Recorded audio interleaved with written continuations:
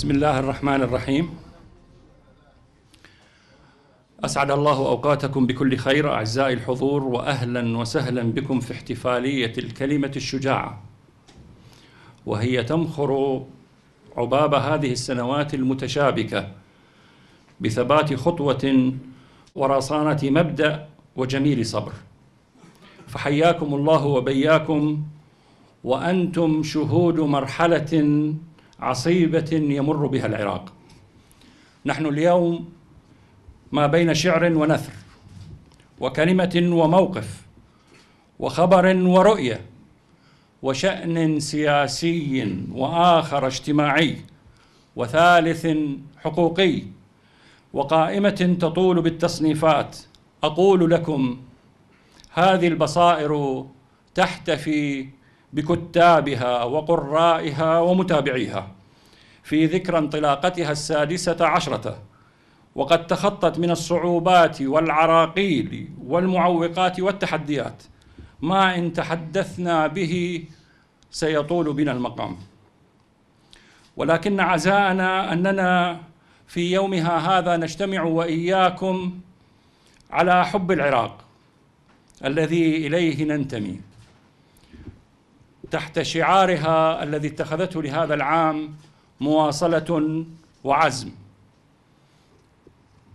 سأزرع في دروب الحق شعرا وأكتب في وضوح الرأي نثرا وأقرأ من كتاب المجد سطرا يكون مفاده في الصدق سفرا. يفرقنا التحذلق والتذاكي.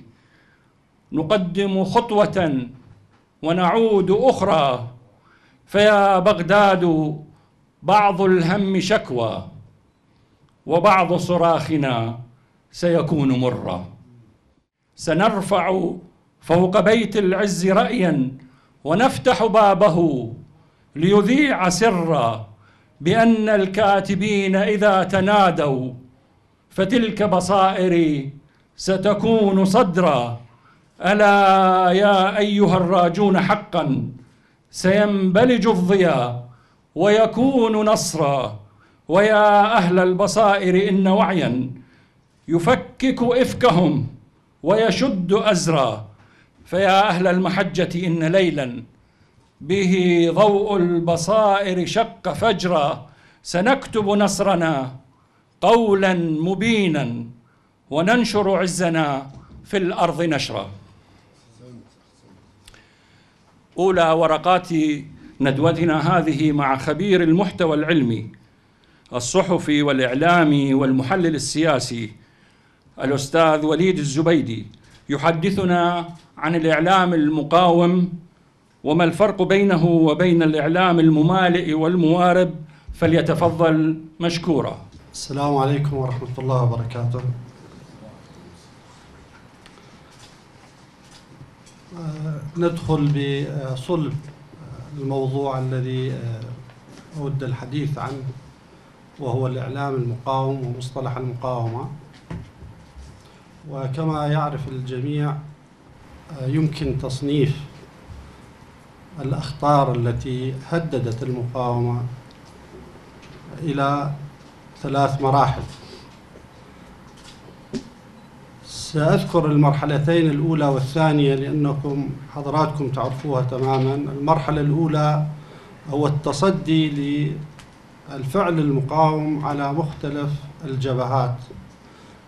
وكان الجبهة الإعلامية خصصت لها الإدارة الأمريكية مئات الملايين من الدولارات لإنشاء وسائل إعلام تابعة لها للاحتلال وسلطته آه، لتأدية خدمة المحتل وسياساته وتوجهاته.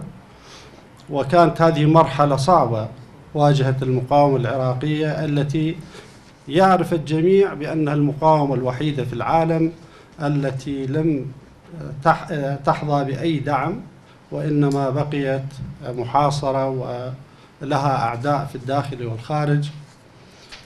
وكانت طبعا آه، جريدة البصائر لابد أن تذكر وقناة الرافدين أهم وسائل الإعلام المقاوم في العراق منذ بداية الاحتلال وحتى هذا اليوم. خلال الأعوام 2003 و4 و5 تأكد أن منهج المقاومة في الإعلام منتصر نظرا لحجم الخطر الأمريكي ومن معه وبالمقابل استمرت المقاومة على الأرض واستمرت بإعلامها أيضا بكل اتجاهاته وتوجهاته ووسائله. المرحلة الثانية بعد أن انتصرت المقاومة في هذه المرحلة لجأت الإدارة الأمريكية ومن معها إلى طريق آخر وبدأ في عام 2007 ويعرف الجميع قصة الصحوات التي أضمحلت وتلاشت بعد ثلاث سنوات تقريبا. وأيضا لأن المقاومة آه، تواصلت وانتصرت أيضا في المرحلة الثانية ربما تراجعت في عملياتها ولكنها ثبتت على منهجها وفي طريقها وفي تعاطيها مع الحدث الأخطر الذي هو احتلال البلد ومحاولة أو العمل على تدمير البنية المجتمعية والاقتصادية والتأسيس وتنشئة مؤسسات وشخصيات وكتل وتوجهات سياسية آه، تخر تعيث آه، فسادا وتخريبا بهذا البلد والمجتمع.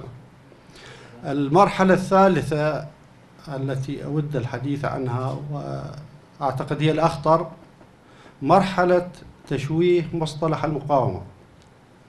نسمع خلال السنوات الأخيرة الكثير من الحديث عن جهات تقول أنها مقاومة وفي الواقع هذا تشويه متعمد وليس عفوي وهذا التشويه إن شاء الله حتى اليوم انتصرت المقاومة الحقيقية وتتراجع دائما مثل هذه المحاولات البائسة التي تريد أن تعبث بهذا الإرث العظيم للمقاومة العراقية التي تصدت فيها لكل آه، هذا الحجم الهائل من الاحتلال وأدواته الداخلية والخارجية. آه، قبل أن أتطرق أكثر أقول بأن آه، في التاريخ من الستينات وحتى أواخر نيسان 1975 عندما انهزمت القوات الأمريكية من فيتنام كانت فيتنام الجنوبية تدعي أنها هي التي تمثل الشعب الفيتنامي. ولكن في الخلاصة انهزم المحتل ومن معه وانهزمت فيتنام الجنوبية وبقي رمز المقاومة والثبات في فيتنام هو شي من ومن معه في آه، فيتنام الشمالية التي آه، يعني هذا كله يعود إلى أن الأصل ثابت. أما التشويهات لا يمكن أن تدوم. منذ 1 آه، نوفمبر 11 1954 حتى عام آه، تموز 1962 المقاومة الجزائرية حركة تحرير في الجزائر التي انطلقت خلال هذه الفترة هي المقاومة الحقيقية. لكن بعد أن استقلت الجزائر نالت استقلالها في 62 لا يمكن أن نقول بأن المرحلة اللاحقة ولم يدعي أحد أن هناك مقاومة. المرحلة المقاومة طالما موجود احتلال المقاومة تقارع الاحتلال. ولا يمكن أن نمزج أو يمزج يختلط الزيت بالماء. لا يمكن على الإطلاق في موضوع المقاومة والحكم لا يمكن أن يكون هناك أي تقارب واختلاط. فالذي يدعي أنه سياسي ومقاوم هذا متعمد يحاول تشويه آه، مصطلح المقاومة وهذا ما يحصل الآن. حتى يعني أذكر رغم خصوصية التجربة الفلسطينية ولكن عندما دخلت حركة حماس في انتخابات 2006 كان منزلق خطير. حاولت أن تمزج بين العمل السياسي والإداري والمقاومة وتعرفون أين وصلت الحال بحماس. هم ندموا على ذلك قادة حماس. وكل من مؤيدي حماس الذين فرحوا في تلك الأسابيع لفوز حماس في الانتخابات ندموا بعد ذلك على آه، دخول حماس في الانتخابات وتسلمها للسلطة لأنه هذه القاعدة ثابتة. لا يمكن الخ... اختلاط الزيت بالماء. المقاومة مقاومة والسياسة سياسة. عندما ادعت حكومة فيشي في فرنسا منذ احتلال آه، ألمانيا لها 1940 أنها تمثل الشعب الفرنسي. في الواقع الذي مثل الشعب الفرنسي دي جولو من معه. ولهذا عندما آه، انتهت الحرب واستسلمت ألمانيا في 8 5 1945 الذي بقي شامخا وثابتا ومعروفا ومحترما أيضا بمكانته هو ديغول المقاوم وليس فيشي وحكومته التي عملت مع الاحتلال الألماني في تلك الفترة. وأي فترة فيها مقاومة عبر التاريخ الحديث والقديم تبقى المقاومة هي الرمز الحقيقي ويبقى من عمل مع المحتل بكل أشكاله وصنوفه آه، يبقى هو الظل المؤذي للشعب ربما أحيانا يكون أكثر من المحتل الغازي المجرم. فهذه المحاولات التي يسمع بها الكثيرون ويحاول أن يتمجدق بها هذا العنوان أو ذاك العنوان وأنا أتحدث في العراق وعن هذه المرحلة بالذات لا يمكن أن تطلق صفة مقاوم على من آه، دخل في العملية السياسية الأمريكية التي جاء بها الاحتلال وأسس لها ودعمها وأراد لها أن تنتصر على إرادة الشعب العراقي. عنوان العمل في طيلة الفترة الماضية في الإعلام المقاوم طبعا بالتأكيد الذي يوثق ورقيا وعلى الإنترنت هو الصحيفة وكانت البصائر في مقدمة هذه الأدوات أو المؤسسات والوسائل وأيضا فضائيا وكانت قناة الرافدين وما زالت آه، تؤدي هذا الدور الوطني المقاوم الكبير. آه، على الطرف الآخر هناك مئات الصحف ومئات مواقع الإنترنت وأيضا الفضائيات. الخلاصة لدى العراقيين ولدى الرأي العام العربي والمتابع وحتى لدى الباحثين الأمريكيين أن العمل الحقيقي الذي يصب في آه، نهايته لمصلحة القضية العراقية هو الإعلام المقاوم الذي رفض المشروع آه، الذي جاء به الاحتلال وأدواته لأن هذا المشروع كما قرئ منذ أيامه الأولى وحتى قبل الشروع بالاحتلال هو مشروع تدمير وتخريب العراق ولا يمكن لأي شخص حتى بسيط التفكير يتمعن بدقة في مشروع محتل وبناء على تجارب الاحتلالات في العالم كله أن يوافق على الدخول في مشروع يخرب العراق. وخلاصة ما حصل في العراق خلال هذه السنوات الطويلة والعجاف أن الرأي العام في كل مكان والمتابعين آه، يؤكدون ويستنتجون والخلاصات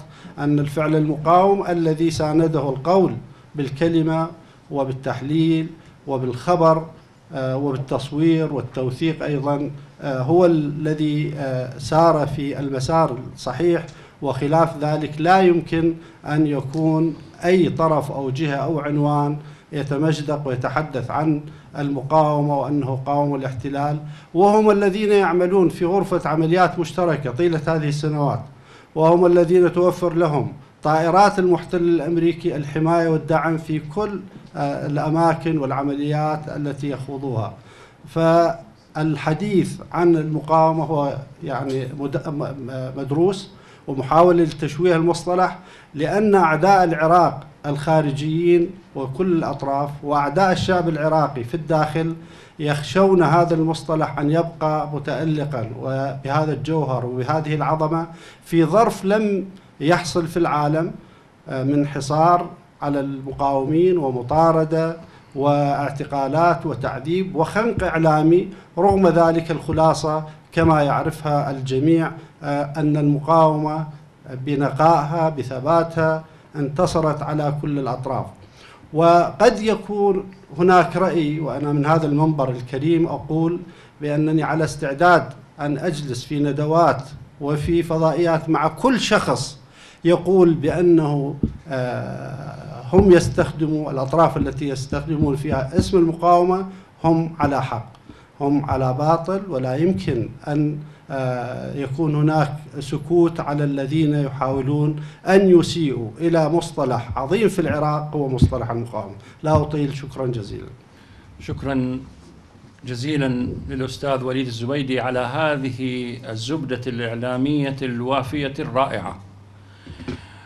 وأنتقل الآن إلى فارس الفكرة ومنفذها الصابر والمصابر عليها. رئيس تحريرها الأول. الدكتور مثنى حارث الضاري مسؤول القسم السياسي في هيئة علماء المسلمين ليحدثنا بورقته عن محطات التطور في المحتوى السياسي لجريدة البصائر عبر سنواتها الورقية قبل أن تكون إلكترونية. فليتفضل مشكورا. بسم الله والحمد لله والصلاة والسلام على رسول الله. وعلى آله وصحبه ومن والاه وبعد. السلام عليكم أيها الإخوة ورحمة الله وبركاته. شكرا لأخي حامد الأزدي على هذه التقدمة وعلى هذا الجهد المبارك في الاحتفاء بصحيفة البصائر. والشكر موصول أيضا لجميع الإخوة الذين شاركونا معنا وخص منه الأستاذ وليد الزبيدي والأستاذ مكي نزال والإخوة الآخرين الذين سيلقون أوراقهم تباعا. ومرحبا بهذا الحضور الكبير المشرف الذي يحتفي معنا بالبصائر. وحق للبصائر أن يحتفى بها بهذه الطريقة في كل عام وفي كل مناسبة. فهي ما زالت على الرغم من كل الصعوبات التي واجهتها ما زالت إلى الآن تنبض بالحياة. كما قال الأخ حارث الأزدي إلكترونيا بعد أن أجبرت في عام 2012 على التوقف عن الطباعة الورقية بعد مداهمة مقرها في بغداد واعتقال كادرها وسجنهم لأكثر من عام في سجن أبي لكن قيض الله سبحانه وتعالى لهؤلاء يخرجوا ويواصلوا المسيرة ويسلموا الراية في مرحلة ما لإخوانهم الآخرين الذين أصروا على بقاء البصائر واستمرارها فظهرت البصائر مرة أخرى صحيفة إلكترونية. نتمنى إن شاء الله في أقرب فرصة أن تعود إلى نسختها الورقية التي ترون أمامنا الآن نماذج منها على مدى سنواتها التسع من عمرها الورقي. وقبل أن نبدأ بالورقة أقول بأن هذه التجربة تجربة مهمة لأن الجريدة لم تتوقف نتيجة عارض ما يعود لذاتها كما حدث لصحف كثيرة انطلقت بعد الاحتلال سواء كانت هذه الصحف في إطار العملية السياسية والترويج لمشروع الاحتلال أو في إطار القوى المناهضة للاحتلال. فلولا الاعتقال ولولا المداهمة ولولا اتهام اتهامها بالإرهاب لما توقفت البصائر وهذه ميزة تحسب لها. أيضا البصائر ولدت من رحم تجربة أخرى وهي تجربة هيئة علماء المسلمين. والهيئة والبصائر ولدت في رحم تجربة أكبر وهي تجربة المقاومة العراقية بكل أطيافها الميدانية والسياسية الداعمة لها. وبدأت كفكرة وبفريق هاو ثم نمت إلى أن وصلت إلى مرحلة نستطيع أن نقول بأنها آه، اتخذت أو وصلت إلى مستوى كثير من الصحف التي كانت تصدر أصلا قبل الاحتلال. في إطار ما كان يسمى في حينها بصحافة المعارضة العراقية. وهذا أيضا يحسب للبصائر. والنقطة الثالثة التي تحسب للبصائر وهذا ليس كلامي وإن كنا يعني عندما نتحدث عن البصائر يحق لنا أن نتحدث عنها بهذه الطريقة. ولكن هذا حديث وكلام من قرأها وتابعها ووصلت إليه سواء كان في العراق أو خارج العراق عندما كانت تصل إلى بعض البلدان العربية وتوزع فيها. الجانب الثالث أقصد به اهتمامها بالجانب السياسي وهو موضوع هذه الورقة. هذه الورقة المختصرة وهي تمهيد لورقة أطول في وقت لاحق إن شاء الله تتحدث عن الشأن السياسي في البصائر أو المحتوى السياسي لصحيفة البصائر خلال السنوات التسع. وقد يستغرب بعضكم ويقول كيف نتحدث عن شأن سياسي لصحيفة مناهضة للاحتلال بالمقاومة؟ لأن فكرة تأسيس الجريدة ومحور عملها الأساسي هو الجانب السياسي. ولكن وقائع الدراسة التي أجريتها أو يمكن أن يجريها أي شخص آخر على البصائر سواء كان في إطار ندوة كهذه الندوة أو في إطار دراسة علمية وهو ما أدعو له. الإخوة المهتمين بالجانب الإعلامي من دارسي الإعلام والتاريخ والسياسة. يمكن أن يدرسوا محتوى جريدة البصائر ولا سيما أن أعدادها الورقية تجاوزت أو وصلت قرابة ال 400 عدد. فهي قمينة جدا بأن تعد فيها دراسات وليست دراسة واحدة لتحليل خطابها ومستوياته وأنواعه واتجاهاته وأيضا الظروف التي مرت بها وتقلبت فيها. ولكن الدراسة التي قمت بها والورقة التي قمت بها في إطار اختيار عينة من أعداد البصائر في السنوات التسع تظهر غير ذلك تماما. هذه العينة هي لتسع سنوات. من كل سنة اخترت عددا محددا عددا واحدا. ثم أعرض لكم هنا خمسة أو ستة من هذه الأعداد بإحصائيات سريعة جدا.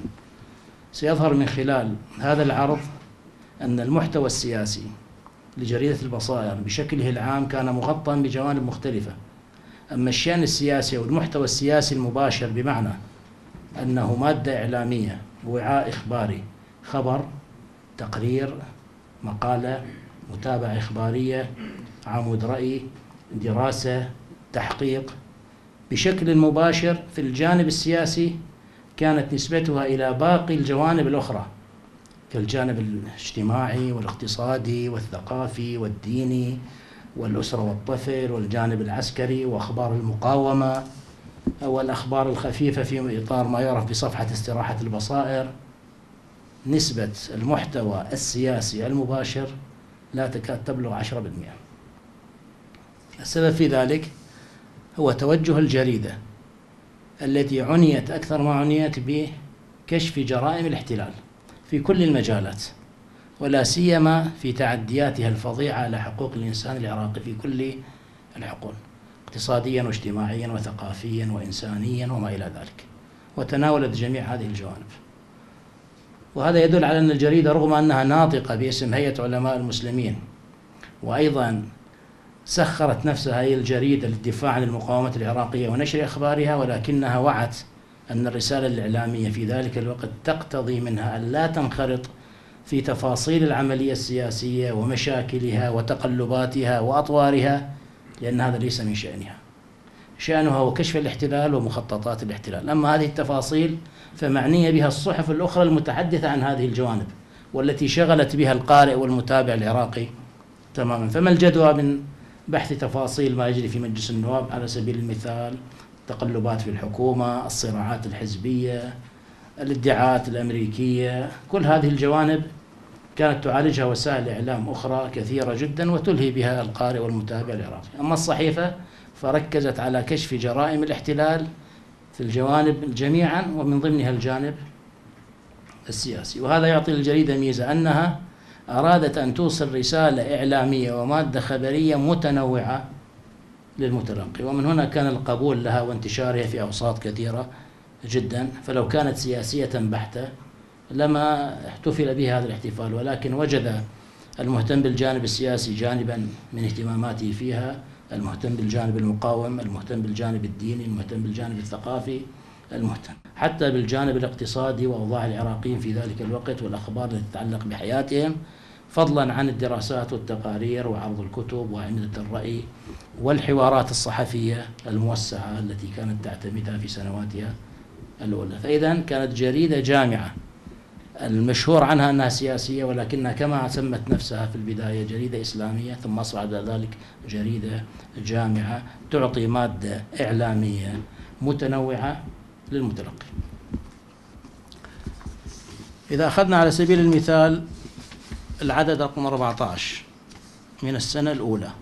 وهنا اعتمدت أنه لم أخذ الأعداد الأولى من الأول إلى الثاني عشر والثالث عشر لأن الجريدة كانت غير مستقرة. في بداية الصدورة كادر قليل آه، بدأت بثماني صفحات وليس كما انتهت أخيرا 13 صفحة. فإذا ما كانت الألوان الإعلامية أو المواد الإعلامية الأوعية الإعلامية فيها متكاملة بالشكل الذي يمكن أن تقاس عليها باقي السنوات. بدأت الجريدة باتخاذ الجانب الإعلامي المهني عندما توفرت لها أدوات إعلامية عندما أصبح يعمل فيها بعض العاملين المحترفين في مجال الإعلام وهذا بدأ تقريبا من العدد العاشر الحادي عشر الثاني عشر وهكذا. فاخترت العدد الرابع عشر الصادر بتاريخ 10 رمضان 1424 للهجرة 5 11 2003 يعني بعد ثلاثة أشهر من صدور الجريدة. وهذه الصورة أو هذا النسخة الأصلية للعدد رقم 14 هذا الحجم الذي كانت تصدر به في وقتها. هاي الصفحة الأولى الإخبارية هاي الصفحة الأخيرة صفحة الحوارات. في هذه الج... في هذا العدد لا توجد أي أخبار سياسية. لا يوجد أي خبر سياسي لا في الصفحة الأولى ولا في الصفحة الثانية ولا الثالثة ولا الصفحة الأخيرة.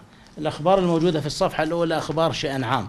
قد يقول بعضهم أنها لها شأن سياسي ولكن شأن سياسي ليس مباشر. مثال على ذلك مداهمة منزل أحد أعضاء المجلس التأسيسي لهيئة علماء المسلمين. قضاء القائم يرزح تحت الحصار منذ ثلاثة أسابيع. البيانات الأمريكية تتكتم على حقيقة عدد قتلى طائرة الشينوك إذا تذكرون وقعت طائرة الشينوك في وقته. مياه شرب معدنية عربية لقوات الاحتلال في العراق. أبو غريب تحت الحصار مواجهات دامية وتصعيد خطير لقوات الاحتلال. شركات أهلية لحماية الوزارات والمؤسسات الحكومية. وثائق جديدة للمقيمين العرب في العراق وإجراءات مشددة بحق غير الشرعيين منهم. التعليم العالي تحدد مواعيد قبول طلبات التقديم على الزمالات الدراسية. اقتحام مصرف في عانة وسرقة 300 مليون دينار عراقي من ذاك الوقت الاقتحامات يعني. ثم تنويه ثم إعلان ثم رأي البصائر كذبة تشرين وحريق القاهرة. هذه كانت الافتتاح. فلاحظوا ولا خبر سياسي. أخبار عامة تهم المواطن العراقي ولكن ليس فيها خبر سياسي. مقالات ودراسات فيها مقال واحد سياسي. تقارير متابعات خبرية سياسية غير موجود. أعمدة رأي في الشأن السياسي. ثلاثة أعمدة كانت مواضيع سياسية. إذا انتقلنا الآن إلى العدد 61 من السنة الثانية. الصادر في 22 رمضان 1425 16 2004 وهذه صورة العدد. لاحظوا اختلاف نوع الورق والطباعة وما إلى ذلك بسبب الظروف الطباعية في وقتها.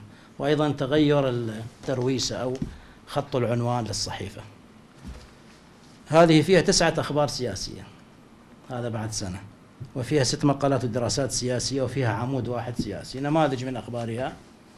العنوان الرئيس تعبيد الانتخابات بجماجم أبناء الشعب مغالطة واضحة وغير مسبوقة. حلفاء واشنطن يلوحون بالانسحاب علنا. مجزرة سامراء خدعة لسابقة خطيرة مارستها الحكومة المؤقتة ضد أبناء المدينة. هيئة علماء المسلمين تصف الأزمة التي تمر بها مدينة سامراء بالمجزرة. قوات الاحتلال تعتقل ثلاثة مشايخ من هيئة علماء المسلمين. حماس الجمعة القادمة يوم غضب. لاحظوا الخبر العربي الفلسطيني تحديدا.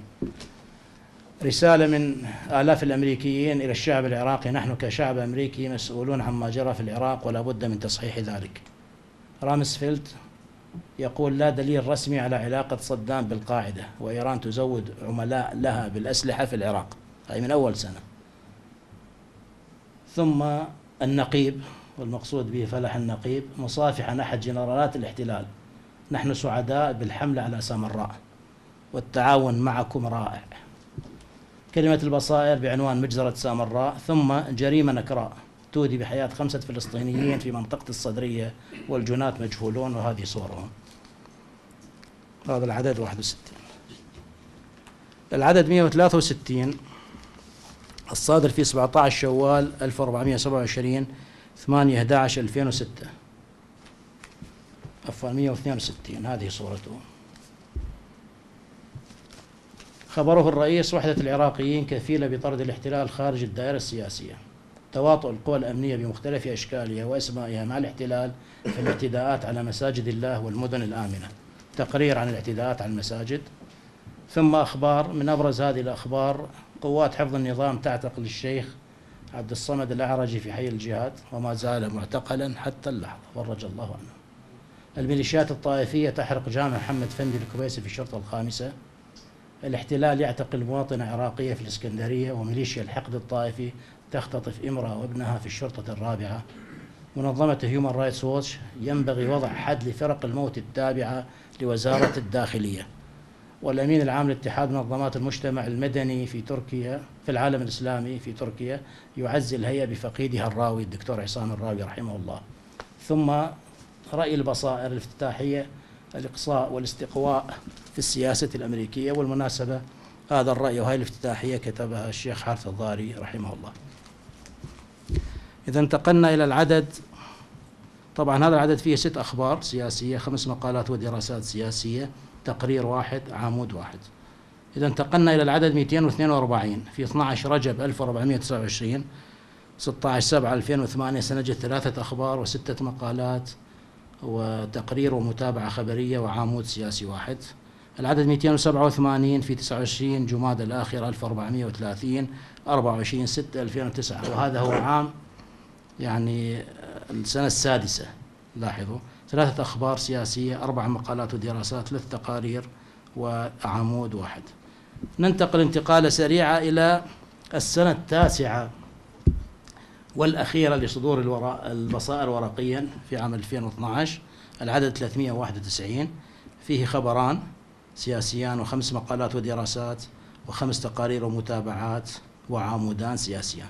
فإذا إذا أخذنا المقارنة فقط في الأخبار العدد رقم 14 بدون أخبار سياسية العدد 61 السنة الثانية 9 العدد 162 السنة الرابعة 6 العدد 242 السنة الخامسة 3 العدد 287 السنة السادسة 3 والعدد 391 السنة التاسعة 2 الأرقام تكاد تكون متقاربة عدا السنتين الثانية والرابعة كانت النسبة أكبر. باقي الأرقام متقاربة. إذا حافظت الجريدة بناء على هذه العينة على مستوى الخبر السياسي فيها ولم تنخرط في إطار تغليب الجانب السياسي كما يقول بعضهم بالعكس كما قلت 10% لا تزيد عن نسبة 10% بين 8 و10 ولعل دراسة موسعة تكشف عن جوانب هذا الموضوع. وأختم أخيرا فأقول حاز قصب السبق في موضوعات البصائر موضوع كشف جرائم الاحتلال وفضح الانتهاكات الفظيعة لحقوق الإنسان العراقي. وكل إنسان مقيم في العراق. فكان جانبا رئيسيا في اهتمام الجريدة وفي كل المواد المنشورة فيها منذ البداية وحتى التوقف في عام 2012 وهذا يبرز آه، الأثر الكبير للبصائر في كشف كثير من هذه الأشياء ولا سيما في جانب التحقيقات التي جرت عليها الويلات ولا سيما اعتقال بعض العاملين في الهيئة بعد كشفها لجرائم ومجازر آه، ملجأ الجادرية في وقتها. أخيرا غلب على أعمدة الرأي في البصائر الموقف السياسي. في كل صفحة من صفحات البصائر كنا حريصين أن يكون هناك عمود رأي. تقريبا سبعة ثمانية تسعة أعمدة رأي كان في البصائر وأحيانا لا 12 عمود رأي. غلب عليها الجانب السياسي مع عمود ثقافي وعمود في صفحة الأسرة المسلمة. نقطة أخيرة.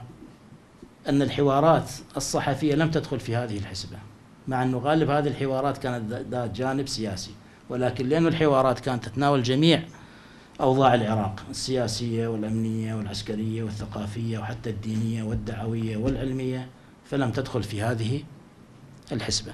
فهذه مجرد ملاحظات وقراءة سريعة لعينة من أعداد جريدة البصائر في عمرها الورقي حتى عام 2012 بارك الله فيكم والسلام عليكم ورحمة الله وبركاته. شكرا جزيلا للدكتور مثنى حارث ضاري على هذه الإضاءات التحليلية الواضحة في طريق المحتوى السياسي لجريدة البصائر. وكيف يكون للاحتفال طعم إن لم يكن للشعر فيه وجود؟ بل كيف نقول الشعر وشاعرنا مكي النزال موجود. فليتفضل ليشنف أسماعنا بقصيدته عن البصائر اسمحوا لي أن أقدم بمقطع خارج النص وفي صميم الوقت. صرخ الذئب في المقصلة. بريء أنا من دماء الذين افترست. أوقفوا هذه المهزلة ليس ذنبي. هم المقبلون نحوي زرافة لأختار وجبتي المقبلة. كل ذنبي أني عويت وذاك طبع الذئاب وذلك طبع الذئاب أجوع فأعوي فيأتون جمعا يحفون بي كالذباب. حاكموهم فهم جوهر المعضلة. أنزلوني دعوني أعد حيث ينتظرون وإلا أتوا بذئاب تجوب مضاربهم للحماية أو للرعاية أو لقتال الذئاب. سيعم الخراب وتحتدم البلبلة. انظروا خارج السجن واستمعوا للحشود. تناشدني أن أعود. انظروا لعبيدي بوضع السجود. يلوذون بي لأخلصهم من عواقب الزلزلة. هل فهمتم المسألة؟ أعتذر للبصائر التي آه خرجت عن نصها قليلا ولكن تكلمت بروحها كما أظن. قصيدتي الثانية آه في جريدة البصائر تحديدا التي كتبنا فيها ونكتب فيها لأنها قلبنا النابض ولساننا الناطق. بصائرنا مواصلة وعزم لصوت الحق يخطر فيه حلم مثابرة وتنوير وجد وإقدام وإشراق وحزم. بأجنحة الحقيقة والتجلي على أقرانها تزهو وتسمو. وبالخبر المنزه عن ظنون يؤازر ركبه أدب وعلم هنا تجد الضياء دليل سير. إذا تاه المسار وطاش سهم. إذا غضبت تزعزع قلب باغ. وتفشي الأمن إما كان حلم. ينام بظلها من رام عدلا. ويكره ذكرها زيف وظلم. ويسمع صوته فيها أسير يجيش بصدره حيف وضيم أجابت حينما نادى المنادي وأرجف حولها علج وخم وصعر خده من حاز سحتا وأغدق دونها قيح وسم أرادوا لجم ثورتها ولكن أبت إلا البقاء وهم أصموا صحاب الحرف. حيوا أم حرف بأنوار الحقيقة تستحم. وتمضي في طريق الحق صوتا على الآفاق صداحا يعم كأصوات المآذن يوم زحف. تحلق حوله الجمع الأشم بنات شفاهنا بالعز تزهو وتقسم أنها للعز أم. شكرا لكم. شكرا كبيرا للشاعر الكبير مكي النزال دأب المحتفلون عبر التاريخ ونحن منهم أن يكون ختام احتفالاتهم مسكا. ومسك ندوتنا هذه يتجسد بصلابة الموقف وثقافة الكلمة الشجاعة وجمالية الإلقاء التي يمثلها بحق صديقي الشاعر الرائع محمد صيف فليتفضل لإلقاء قصيدته. بسم الله الرحمن الرحيم. الحضور الكرام السلام عليكم. أبارك لكم ولي ولكل الشرفاء والأحرار هذا المنبر الحر البصائر القصيدة بعنوان بصائر الفجر. أطبق الليل فاعترانا اختلاج ومحى الليل من هداكم سراج. أطبق الليل فاعترانا اختلاج ومحى الليل من هداكم سراج. وانبريتم له بصائر فجر لسناها رغم القتام من بلاج. وحملتم به مشاعل صدق نورها في دروبنا وهاج. وانتهجتم من الثبات طريقا فاستقام الطريق والمنهاج. دون بطء سلكتم الحق نهجا والمعالي لما سلكتم نتاج كم حملتم عن العراق جراحا؟ مع تراكم من الجراح انزعاج وحلمتم بأن يلوح جليا في مدى صبرنا الجميل انفراج سوف تمسي لنا الجراح وساما. حينما يحضن العراق انتهاج. في بلادي في بلاد المنافقون كثار. كم رجونا أن يحضر الحجاج؟ هم يرون العراق حقلا مشاعا ولهم خيرات العراق خراج. لا يرون الذي نرى لا يرون الذي نرى فالخطايا حول أبصار الخائنين سياج. شربوا من دم العراق كؤوسا بالأذى عندهم يروق المزاج. ينسجون الشراك حول بلادي مؤلم أن من بيننا النساج. زمر. زمر أدمن احتراف الدنايا ولها عند الأدنياء رواج. ليس يجدي ليس يجدي مع الدنيء اغتفار ما له غير الاجتثاث. علاجه شكرا لكم.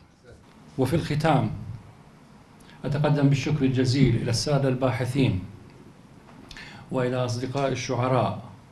ولكم سادة الحضور على هذا الحضور الرائع. آملا أن ألقاكم في أمسيات قادمة. أستودعكم الله. والسلام عليكم ورحمة الله وبركاته.